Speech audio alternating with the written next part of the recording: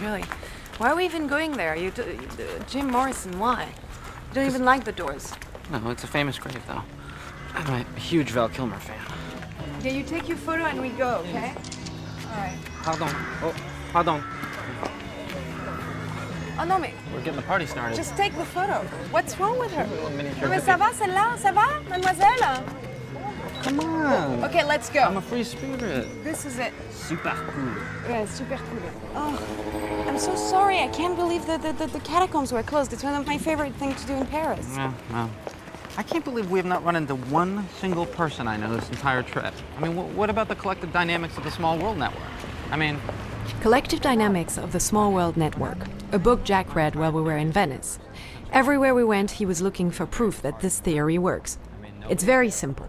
Our world is very small, and if you travel to the other side of the planet, there is a very high probability that you will bump into someone who lives right down the street from you. Scientifically, it is proven that it's not just chance. We are a whole and everything is connected. The illusion of chaos in which we live is actually quite orderly and definitely linked.